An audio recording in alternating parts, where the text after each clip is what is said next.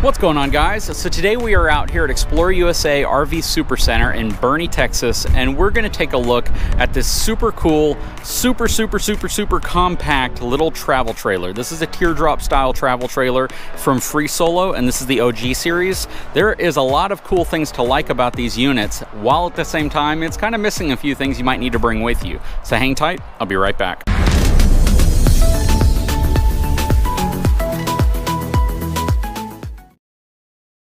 All right, as always, before we get started, let's take a look at the numbers on this massive, massive toy hauler travel trailer. I'm just kidding. Anyways, this has a gross vehicle weight rating of 2,325 pounds. Has a cargo capacity of 1,000 pounds. So this thing dry is a little over 1,300 pounds. Has one axle, 15 inch C-rated tires. It does have solar prep on it as well, so you can charge the batteries whenever you put them on. It has place for a couple propane tanks right here as well as batteries. If you'd like, you can kind of mix what you want there with the utility tray they have up front. This unit is only about six and a half, maybe seven feet tall if you include the rack up top.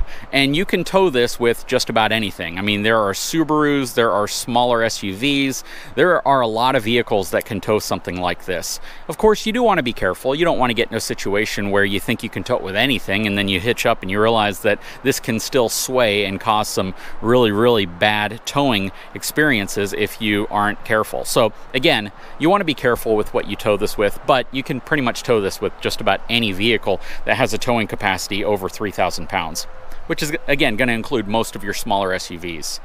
This thing is super cool. Okay, so what this doesn't have is a shower or a toilet. It actually does have a sink and it has a freshwater tank on it. So you have the ability to take water with you, connect a hose and take a shower. It also has a really cool ARB awning up here. So you can extend an awning out and you can utilize this as a really nice covered space and convert this thing into a really, really cool kind of overland trailer.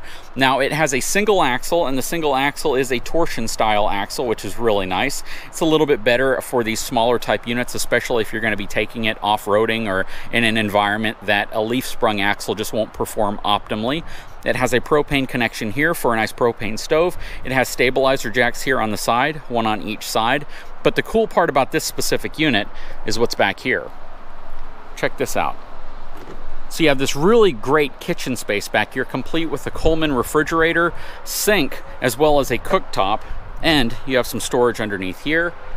You have power connections, you have a 12 volt connection, some speakers, and some lighting. This is very cool, and this awning or this cover can actually provide you some shade or protection if you have it pointed in the right direction, if it's raining outside. Just a very, very cool setup. Nice LED lighting across the back. The overall length of this unit's only about maybe 12 feet long, so it definitely is compact and you can fit it into a lot of places that you couldn't fit anything larger. You have some vents there that'll be vented from the inside as well as a side vent right here. You have these really aggressive Westlake tires. These tires are actually very common on a lot of different RVs that utilize kind of this aggressive look. And then you have a standard radial spare underneath.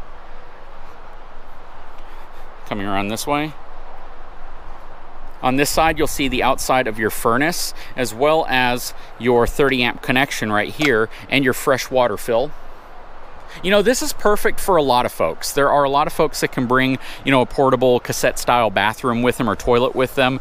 And, you know, if you're going to hook up your own hose and give yourself a shower, you have that capability right off the bat.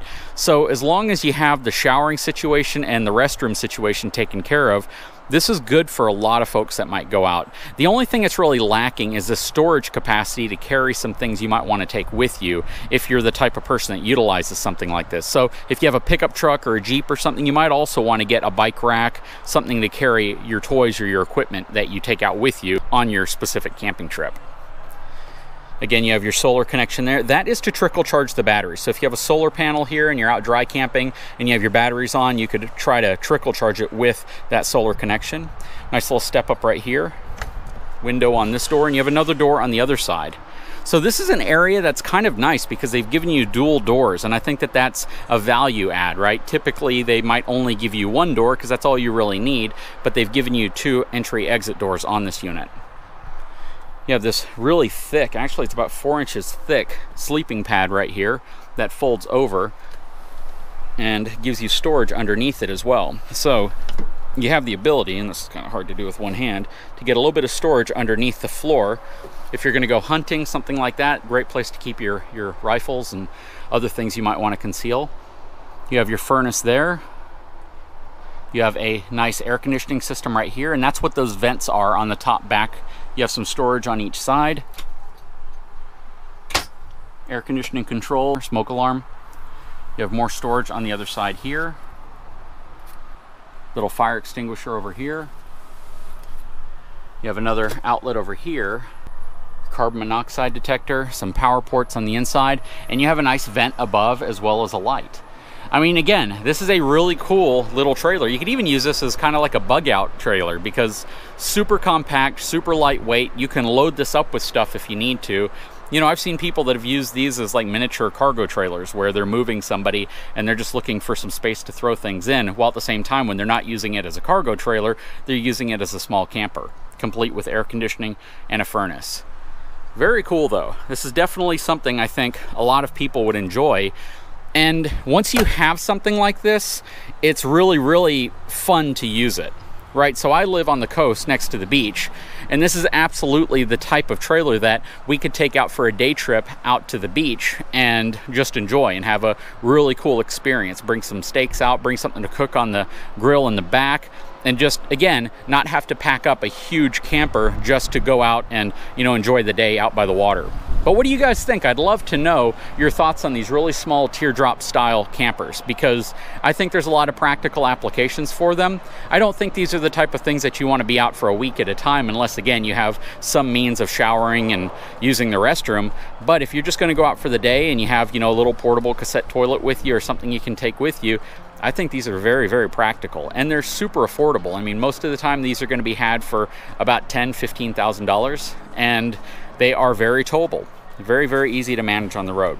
But I'd love to know your thoughts because, you know, is this something I should get?